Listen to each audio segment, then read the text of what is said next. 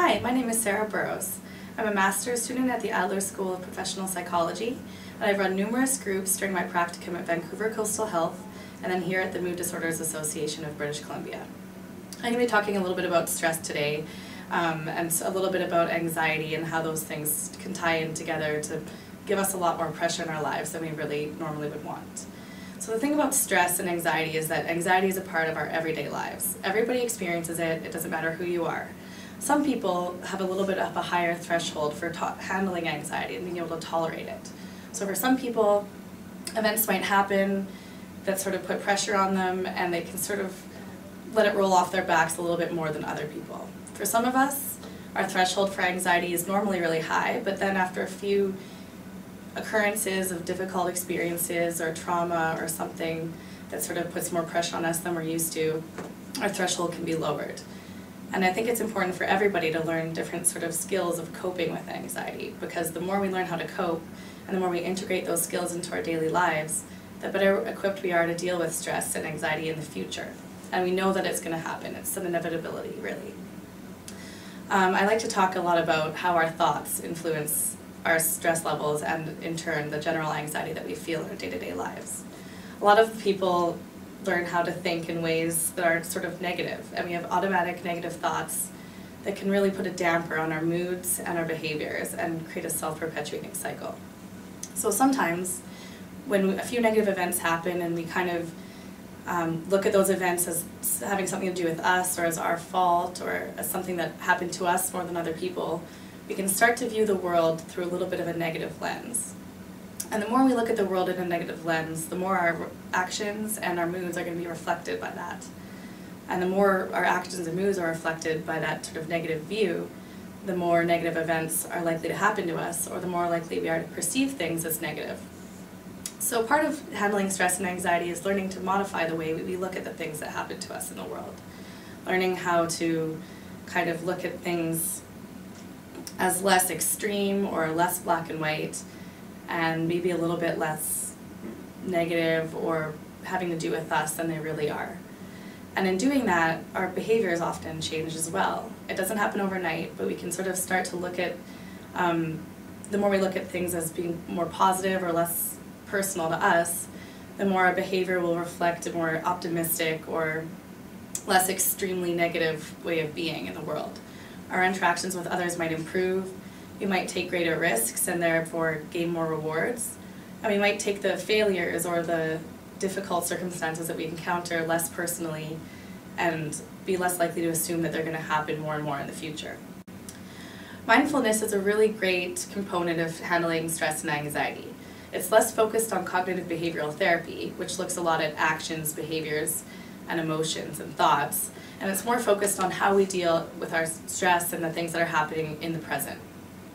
Mindfulness isn't about suppressing negative feelings or trying to pretend that everything's okay or trying to be more optimistic or happy. It's just about accepting our feelings and our experiences as they are in the moment without judgment. And I think that's a really key part of dealing with stress and anxiety especially in a world where we're often told how we should feel, what we should think, and how we should behave in response to certain circumstances. So mindfulness has a lot to do with just paying attention to ourselves and our inner state in the moment. We learn how to tune into our feelings in our body, our physical sensations, as well as what's happening to our mood and our emotions as it comes along and as those emotions disappear. In doing so, we're told to sort of notice what we're experiencing, without going into the past or worrying too much about the future, and just being present with those feelings as they are and letting them come and pass without trying to force them either way. So it's kind of like a river. Our emotions are a river, and we're just instead of being a riverbank, and building a dam and trying to make the water go this way or that, we're letting it flow over us without judgment and without trying to make it something that it's not. And in doing so, a lot of research has found that those emotions can be have less of an impact or be less um, detrimental to how we feel and how we behave in the moment because noticing something like that takes away some of its power. So we're experiencing stress or anger or sorrow or something like that, um, rather than trying to change it or make it something that it isn't, just accepting it, noticing it, acknowledging it, sort of creates some room for those emotions to sort of take run their course and for more positive or more um, you know better more adaptive emotions to come into play as well. A lot of exercises that we'll learn that i like to teach in mindfulness have to do with uh, tuning into our bodies in the moment and really paying attention to our surroundings. So it doesn't even have to be just about how you're feeling but it can also just be about what's happening in the room around you.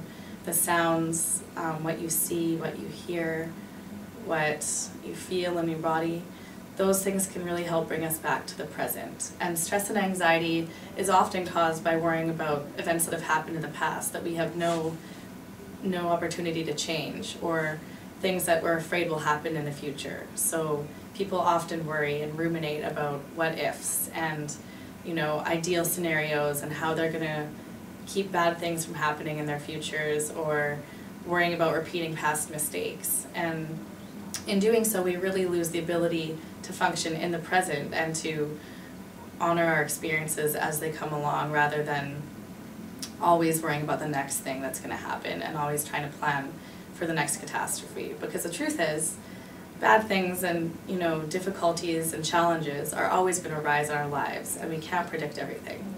So it's really important that while we plan for those things in moderation, we also take the time to enjoy what's happening and really experience what's happening to us in the present because that helps make us more effective for dealing with challenges in the future. A huge part of learning how to deal with stress and anxiety is learning how to expose yourself to stressful situations or situations that elicit your anxiety without doing some of the responses that might come naturally to you.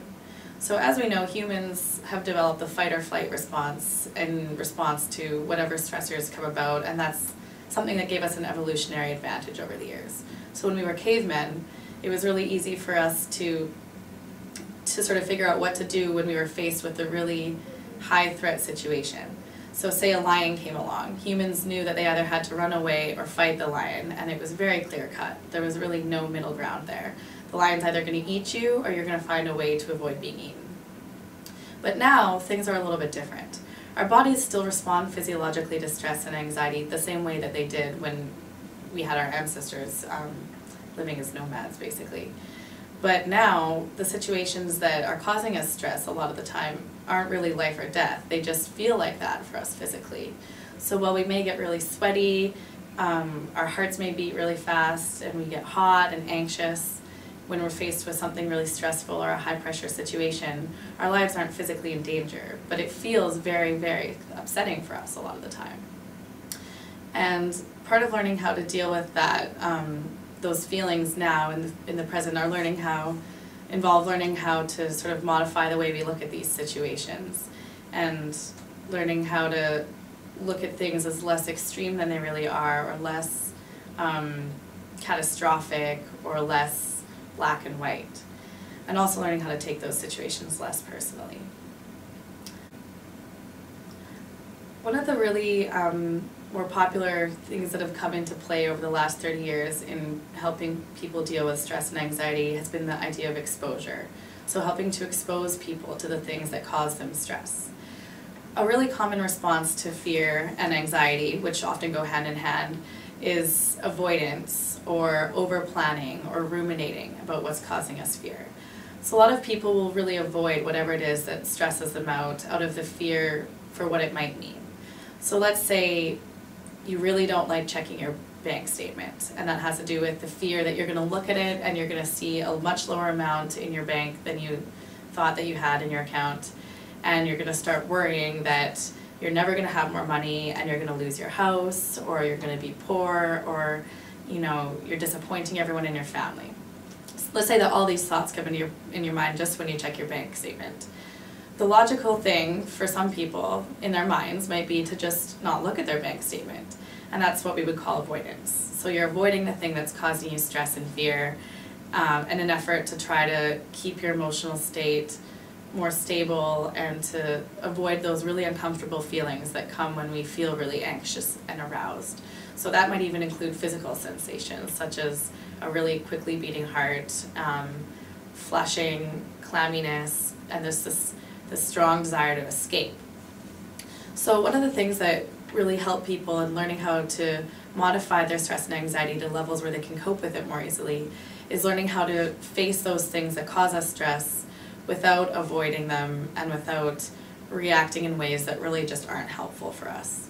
So um, let's say let's say you don't like public speaking. I mean, this is a classic example that I think a lot of people can relate to.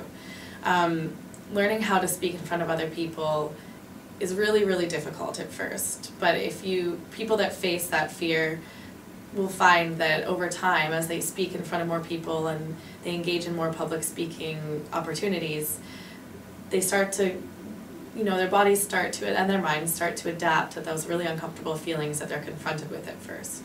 So our bodies can only really stay in that really highly anxious state for so long before they start to acclimatize to it. We're very, very adaptable. So after about the first five minutes, you know, your heart might be beating out of your chest if you're scared of public speaking.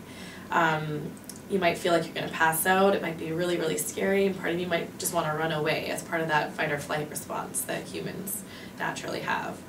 But over time, if you stick with it, which you know most people will, when sort of put in that situation as a way of coping with their anxiety, um, sticking with it helps your body learn that that situation really isn't a threat, that nothing really catastrophic is going to happen to you. Even if people know that you're nervous when you're public speaking, um, they probably aren't thinking about as much as you are, and your body will sort of notice, and your mind will notice that nothing really life or death is happening, and slowly you'll notice that you know your heartbeat slows down, you sort of are thinking less about what you might look like to other people, and you're maybe less anxious.